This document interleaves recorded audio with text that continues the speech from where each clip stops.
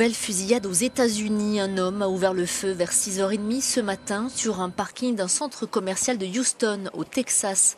Au moins 9 personnes ont été blessées, 6 sont hospitalisées. L'une d'elles se trouve dans un état critique. Les trois autres ont été soignées sur place. Toutes les victimes étaient dans leur véhicule quand le tireur a ouvert le feu. Les forces de l'ordre l'ont abattu. Selon les premiers éléments de l'enquête, le suspect était un avocat dont les relations avec son cabinet se seraient dégradées.